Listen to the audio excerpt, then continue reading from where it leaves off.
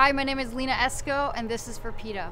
My friend Fisher Stevens showed me an early version of the screening of The Cove, and I saw that film, and I'm like, this is wrong, and I need to speak up, and I need to get the word out. Specifically, urging their parents and other kids to stop visiting and supporting dolphins and whales in captivity in aquariums. They travel 30 to 60 miles a day and they are in confined tanks with mirrors, with kids screaming. Their ears are so sensitive, their stress levels are so high.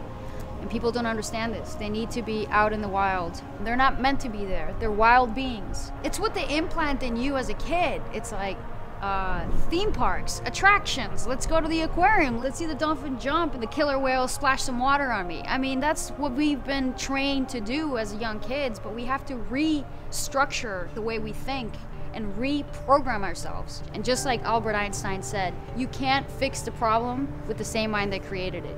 And that's when we have to come in and really change things speaking up. Focus on one thing that you absolutely love and one thing that you really want to support and stick to that and do everything you can so everyone around you is infected by it.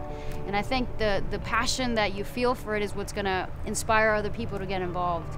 Follow PETA on Twitter, and if you're on Facebook, just like the page, please.